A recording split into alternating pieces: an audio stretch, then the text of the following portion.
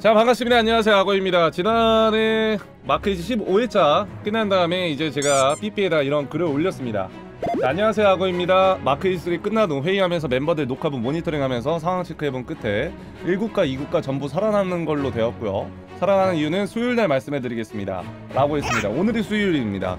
자 그리고 회의 끝에 침대방에 대한 디테일한 규칙이나 엑스칼리버 시자 왕 abusing 금지에 대한 회의가 진행되어 추후에 공지될 예정이라고 써놨고요 자 수요일 날 짠하고 말씀드릴 예정이었지만 혼란스러우실까봐 제가 삐삐에다 이따 이렇게 했습니다 그리고 제 침대방 부셔진 게 아니라 못 태어나게 설치가 되어 있더라고요 예.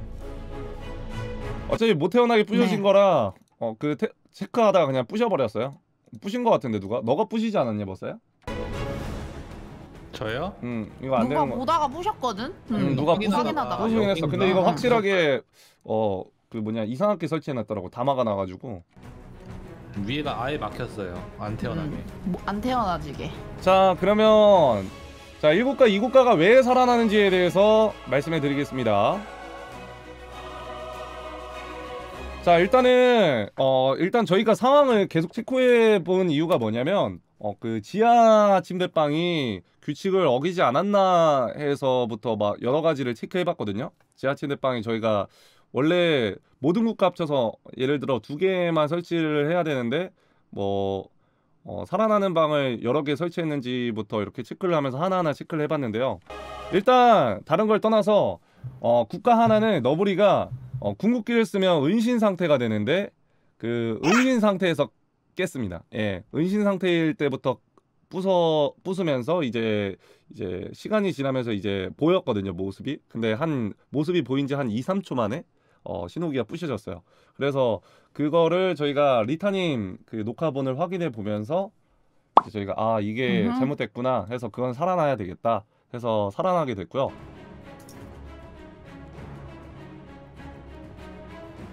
자 여기 보시면 궁을 써서 지금 은신 상태입니다. 지금 이 궁을 쓴 다음에 지금 너브리가 부수는 걸 이제 들어갔겠죠? 자,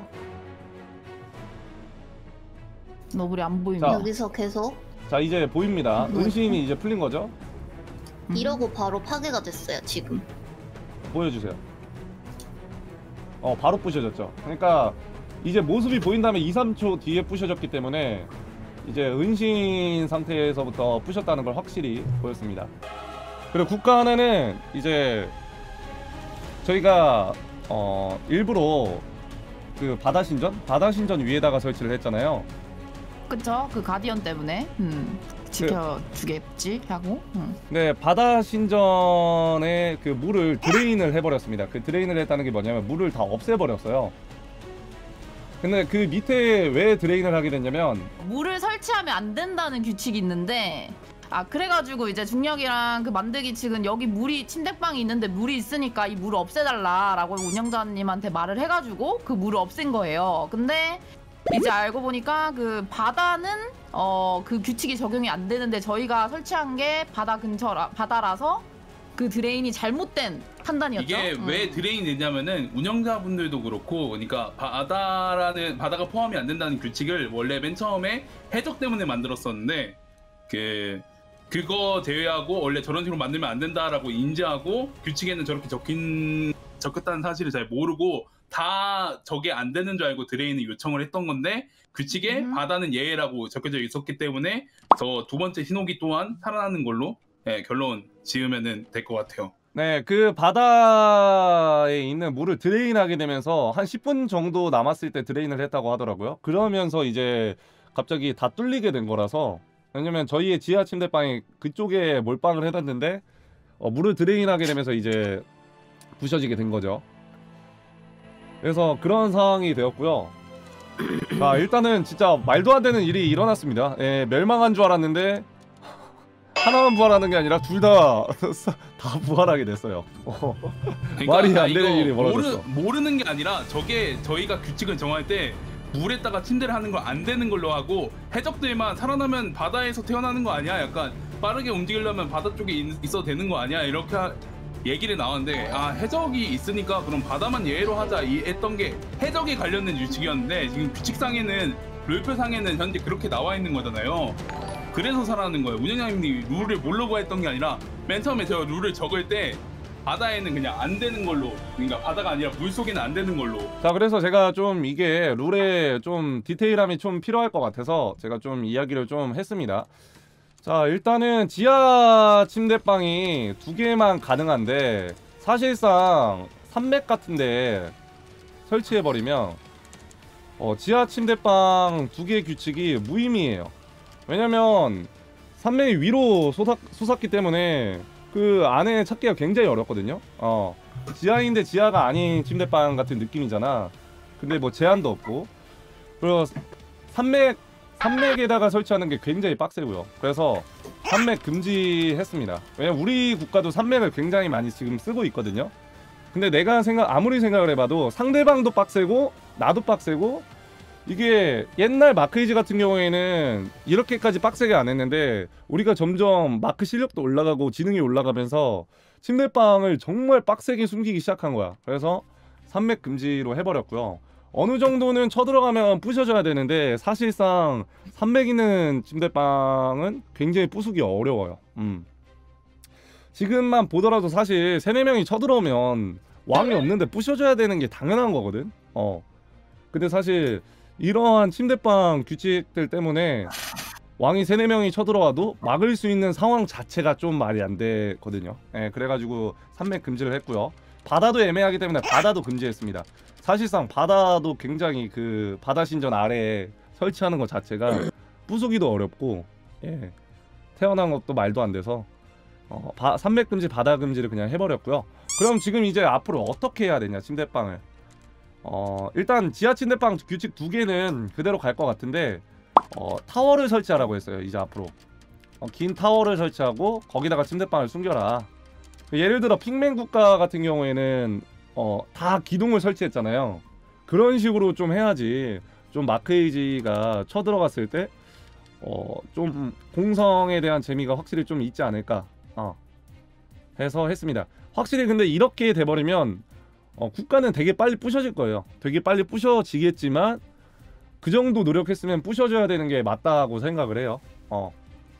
근데 지금은 그냥 거의 약간 좀 너무 병 걸릴 것 같이 약간 좀 지금 해가지고 그래서 약간 이런 식으로 타워를 설치해서 타워에다가 좀 침대방을 숨겨라 이렇게 좀 바뀌게 될 것 같습니다. 예를 들어 지금 핑맨 국가가 잘하고 있는데 잘해놨는데 그 해적섬에 어, 건축물 산맥 엄청 많거든요. 이런 산맥에 해골이랑, 침대방을 설치하기 시작하면 어, 뭐- 어, 못 부숩니다. 근데 핑맨이는 그 해적 해적들은 그걸 되게 잘 해놨어요. 음, 일부러 그렇게 안 해놓고 타워에다가만 침대방을 여태까지 설치했다고 하더라고요. 저거님 그리고 저 하나 말씀드려도 되나요? 네네네네. 네, 그 몇몇 이제 시청자분들께서 말씀하시는 부분이 있던데 제 국가에도 이제 바다 쪽에 그 흑요석이 있었잖아요. 근데 아, 그게 그랬죠? 이제 성벽 어. 안쪽에 있는 것들은 전부 다 페이크고 이제 성벽 바깥쪽에 그 침대방이 있었거든요. 그래가지고 이제 제 국가에서는 drain 같은 게 없었던 거예요. 혹시나 뭐 그리고 그런 부분에 있어서 오해 없으셨으면 좋겠습니다. 아, 침대방 규칙 중에 그게 좀 어, 정해졌습니다. 밖에다가 그러니까 수성을 목적으로 한 자기 성 근처에다가 밖에다가는 설치 불가로 하려고 해요. 음. 왜 자기 성 근처냐면 공성 갔을 때는 그 국가 근처에다가 침대방을 설치하기 때문에 그냥 그렇게 적어 놓으려고요. 수성을 목적으로 한 어, 성벽 근처 밖에 어, 침대 설치 불가. 왜냐면 국가 안에다가 설치를 해야지 국가 밖에다가 해버리면 사실상 침대방 찾는 게 너무 어렵거든요. 예. 그래서 이 규칙을 이제 이번에 넣었습니다. 약간 좀 보면서 그냥 전체적으로 보면서 침대방을 좀 확실하게 좀 어. 좀 규칙을 정해야겠다 싶었어요 하면서 근데 애초에 마크이지 3 자체가 하면서 규칙 정하려고 만든 컨텐츠이기 때문에 하면서 불편한 점이 있으면 만들고 옛날에는 어. 사실 침대도 성 안에만 설치할 수 있었고 그리고 또 다 베드락으로 되어 있고 그 안에 있는 지형들 싹 다 날아가고 약간 이런 식이었잖아요 저희가 음, 음, 음. 음 근데 이번에는 막 성이 엄청 커지고 성벽도 우리가 짓고 아니면 전- 돈 내서 뭐 한다든지 뭐 이러면서 여러 가지가 어 소, 구멍 구멍이 많이 나긴 했어요. 예. 공성일 때는 가능하죠. 왜냐면 공성일 때는 이제 침대방을 상대 국가 안에서 설치할 수는 없잖아요. 예, 그래서 공성일 때는 공성 갔을 때는 그 성 근처에서 어, 침대방을 만들거나 이런 거는 가능합니다. 어, 공성은 돼야 되기 때문에 수성을 목적으로 한 이라는 문구를 추가한 거예요. 음. 그리고 에칼왕 어뷰징은 어, 에칼왕 어뷰징은 일단은 막을 것 같아요. 저는 사실상 막으라고 지난 회차에 보여준 거예요. 어. 그냥 한 회차 정도 이걸로 재미 뽑아야겠다. 어. 막으라고 사실상 보여준 거야. 그래서 내가 분명히 컨텐츠 할 때도 이런 말을 했을 거야. 뭐 일단은 뭐 다음 회차 어떻게는 되겠지. 일단은 오늘은 쓰자. 어.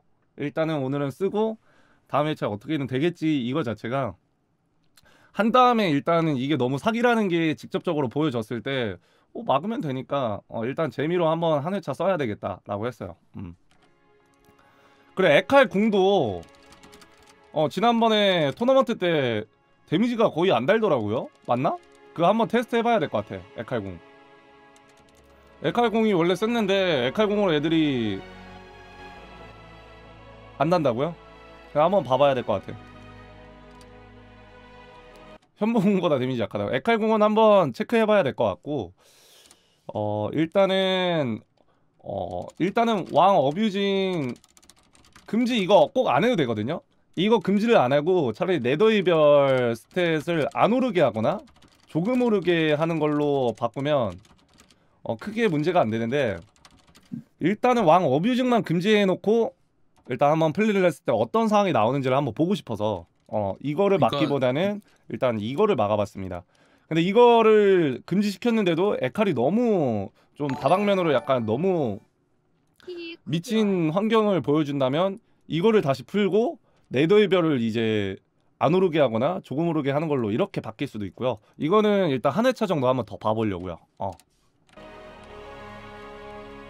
왜냐면 지난번에 생각해보면 왕을 한 30번 잡은 거거든요. 맞죠? 내가 지난번에 20번인가 30번 했지. 그쵸? 맞아, 왕을 맞아. 60번, 30번 동안 거의 쉬자로 60번 했다는데요? 60번 응. 했다고 60번? 응, 응. 50번 60번? 60, 왕을 한 회차에 아, 50번 60번. 60번 잡는 게 좀 말이 안 돼요. 어. 사실상. 한 회차에 어떻게 저렇게 잡아? 어, 60번. 근데 왕, 왕 기준이 그거죠? stat이 만, 만 stat이면은 stat 200. 음 stat 200 음, 랜덤. stat 200? 아니 근데 지난번에 제가 플레이했을 때도 느낀 건데 lag 때문인지 모르겠지만 지난번에 속도가 진짜 미친 듯이 빨라졌었거든요.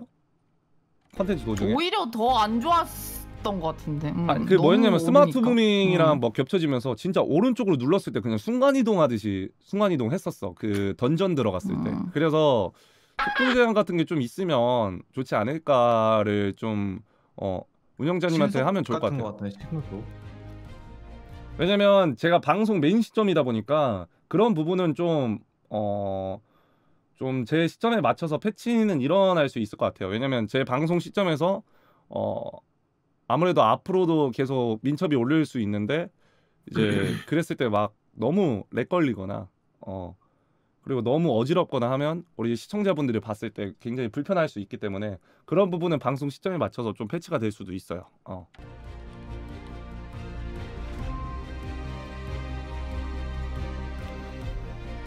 일단은 어 일단은 왕 어뷰 금지했으니까 일단 그렇게 해봐가지고 속도가 어느 정도까지 오르는지 보고 그 다음에 패치는 해도 될 것 같아 맞죠? 음. 왕 어뷰 안 했을 때 속도는 적절할 수도 있잖아요. 어. 맞아, 지난번에 어느 돼. 정도였냐면 음. 침대방이 위에 저 타워가 보이는데 저 타워를 그냥 올라갈 자신이 없었어. 내가 너무 빠르기 때문에 저기 올라갈 자신도 없고 내 속도 제어를 못 하겠더라고. 여러분들은 내가 게임 플레이하면서 손가락이 왼손 오른손 있는데 F9를 계속 누르면서 했다니까? F9로 그 심지어 F9를 한 번만 누르면 껐다 켜지는 게 아니라 세 번인가 네 번 눌러야 돼. 따다다다닥 맞아. 해가지고 음. 네 번인가 눌러가지고 끄고 또 세네 번 해가지고 한 번 눌러가지고 키고 음. 근데 그것만 하더라도 정신이 없어. 왜냐면 전쟁 중에 침대방도 생각해야 되고 스킬 순서도 생각해야 되고 스킬이 어느 키 있는지도 생각해야 되고 애들 말도 들어야 되고 하는데 F9까지 누르려고 하니까 뒤질 것 같았어 그때. 아 컨트롤 이런 게 아니라 그냥 뭘 생각을 못해. 전략을 뭘 못해. 어.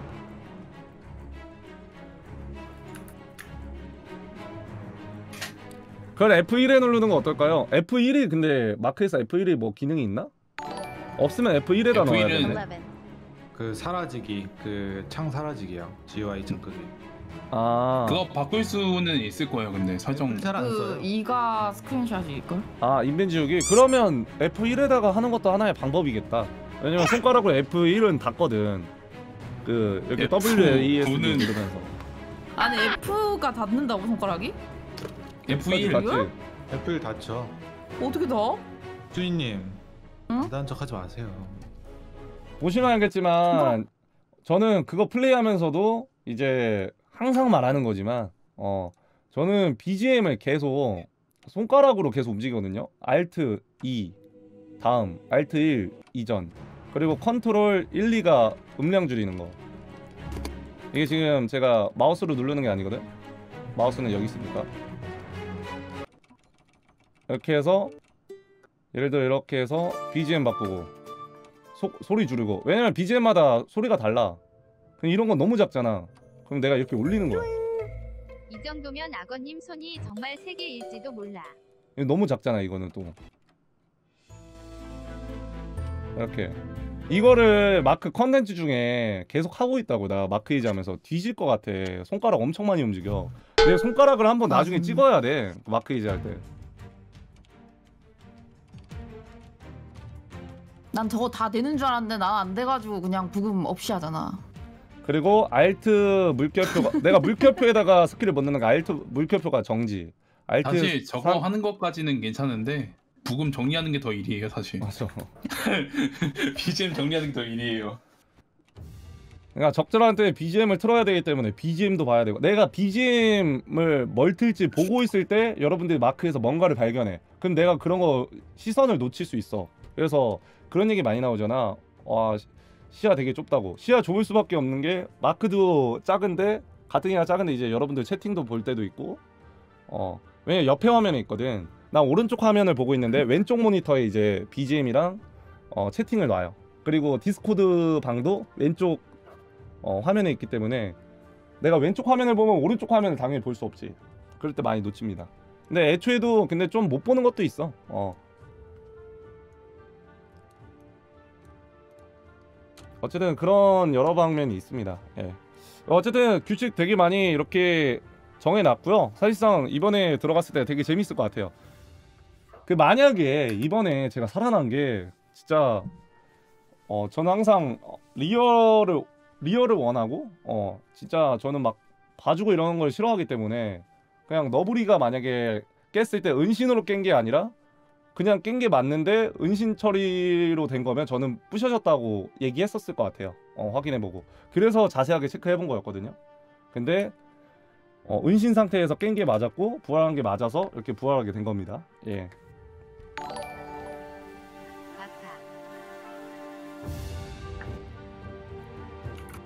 근데 지난주 일요일 날로 인해서 한번 멜망이라는 느낌을 체감해봤잖아.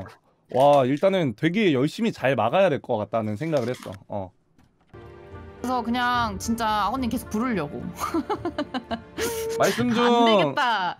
어, 어 싶었음. 음. 일단 뭐 의견이 하나 와가지고 잠깐 읽어볼게요. 공성을 수월하게 음. 하기 위해서 모든 사신 사용수에 궁극기에 장판기를 넣었는데 현무는 궁 장판기에 은신이 있어서 궁 쓰면 보수지를 못하는데 다른 방안이 없을까요? 그것도 은신 사라진다고 예. 아, 그것도 뭐 이렇게 패치하지 않을까 생각을 했고요. 만약에 패치가 안 되면 현무는 그냥 수성에 특화되어 있는 걸로 해야지 사실상. 어.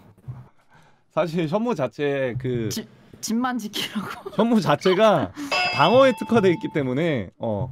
그 원래 현무 자체가 단단한 그런 느낌이잖아. 센, 센 이미지보다는. 그래서 뭐 어쩔 수 없다고 생각을 했어. 근데 뭐 은신 사라진다고 하니까 내가 썼으면 진짜 잘 썼을 텐데. 음. 미친 락앤락에 코끼리 천원 소리 하고 있네.